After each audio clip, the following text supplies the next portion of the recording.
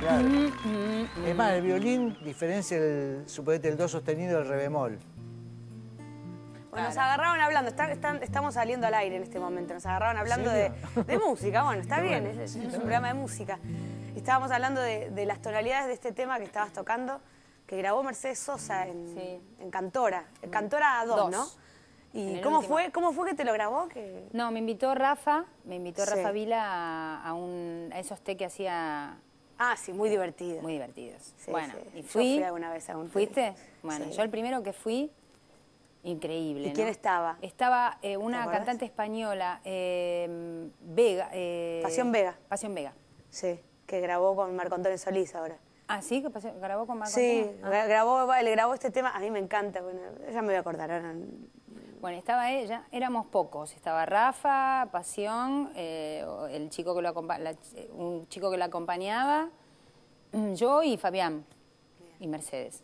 Bueno, la, la mesa del té que es increíble, qué sé Sí, yo. que bueno, te traen de todo, te de traían de todo, qué sé yo. Bueno, pero en el inicio de la conversación, que estábamos en el living cuando recién llegué, Mercedes me empezó a contar que estaba grabando, que iba a grabar el disco Cantora y que era muy complicado eh, eh, hacer que todas las agendas de tantos artistas coincidan y en dónde grabar y qué sé yo. Entonces yo en ese momento me mandé un bocadillo que fue, si se te cae algún artista, yo estoy Hola.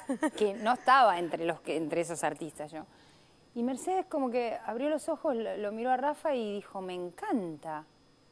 Bueno, a partir de ahí, bueno, compusimos una canción con Rodo especial para, para mandarle y además le mandamos Jamás te olvidaré, que yo la grabé con Los Nocheros en el 2001. Sí, me en el acuerdo disco. Una versión hermosa. Y ella eligió Jamás te olvidaré. Qué Y este... Un pedacito, bueno. un pedacito como para que la gente... Porque seguramente la gente dice, cantá porque te vi. Casi nadie le pone el nombre que es correcto. Lejos de la casa que me da el abrigo, extraño tu nombre, te extraño amor mío,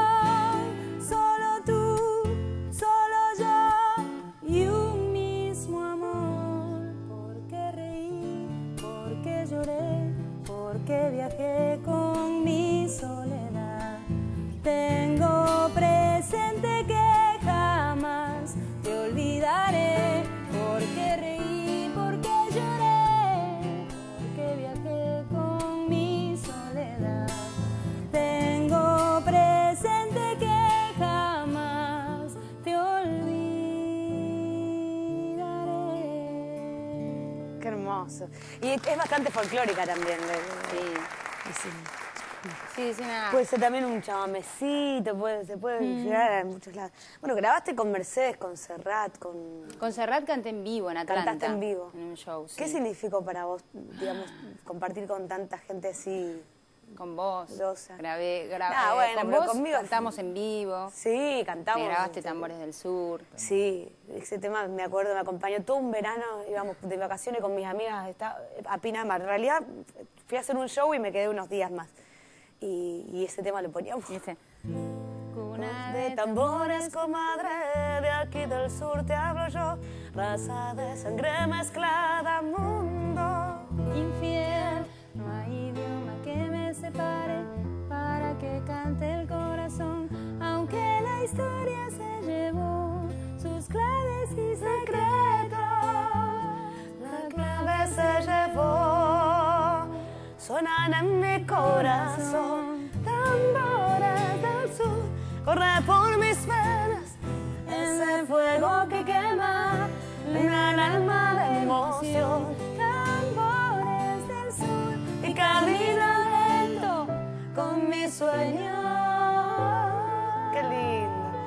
Pasa que hiciste, haces canciones muy lindas acá.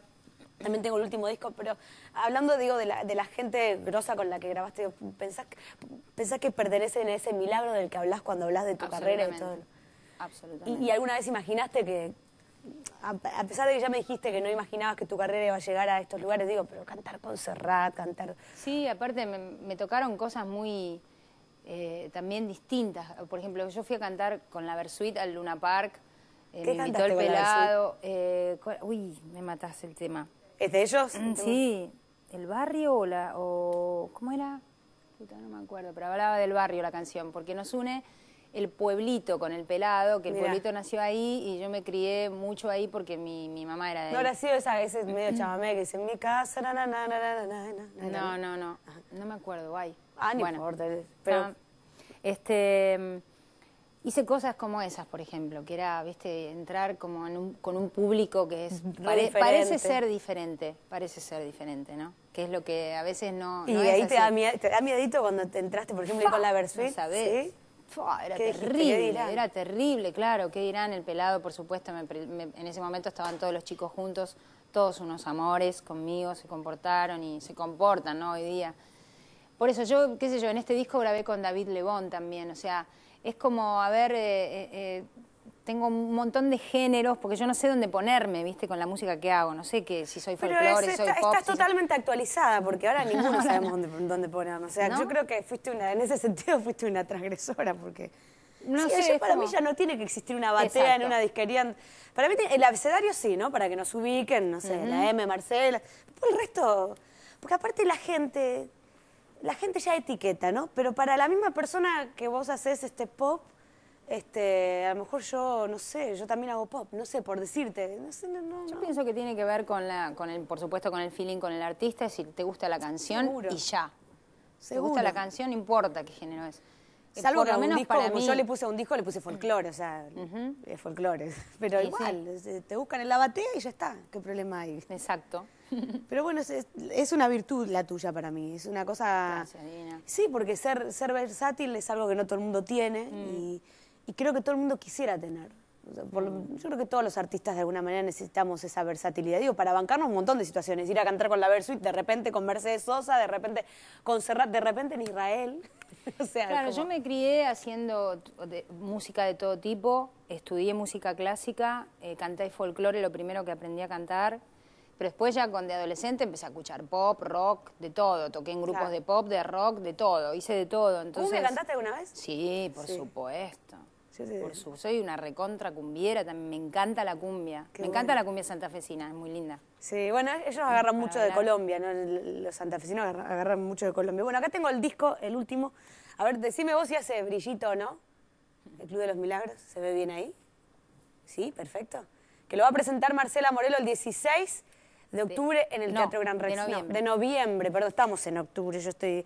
que yo mil- los meses se me pasan volando, como verás con. Claro, eh, tenés otro tipo de calendario vos también. Yo tengo otro calendario, un calendario lunar. Eh, bueno, 16 de noviembre en el Teatro Gran Rex. Yo te invito a quedarte un rato más. Dale. Eh, Ahora Vamos nos vamos al escenario grandote.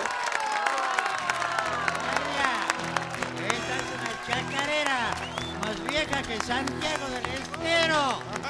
La desenterró don Andrés Chazarreta. Ojo, la doble. La primera nomás.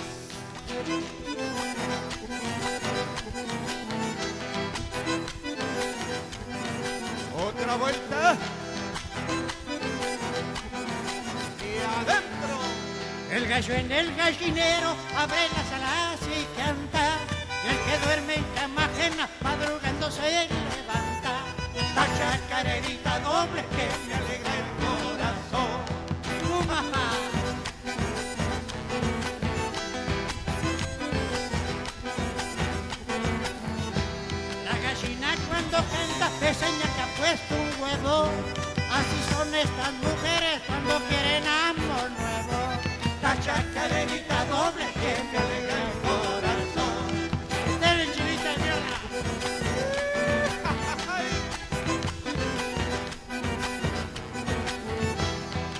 andará mi chinita sufriendo calamidades?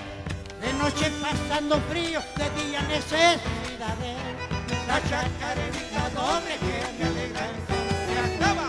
Y mata mi vida en que campaya mi capuzca y que Los catuta muna cuspa son coita mananchi aquí la chacarerita doble que me alegra el corazón. Y que venga la segunda. Venga nomás para bailar las trincheras.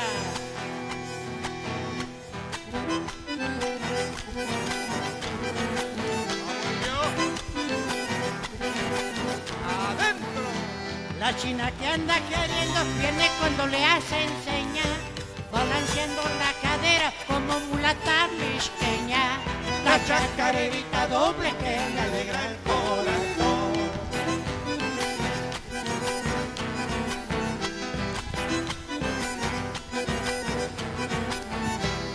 la pata sale el huevo, del huevo sale el patillo. Como quieren que no se haga de la cuajada que sé yo. La chacarerita doble que me alegra el corazón. ¡Dale viejo!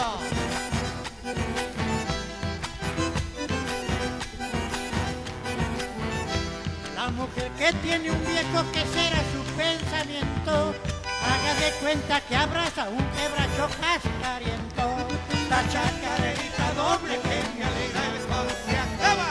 Y no familiar en que campaña mi capusca y que Duka suktan una cuspa son kaito manachi anki La chacarerita doble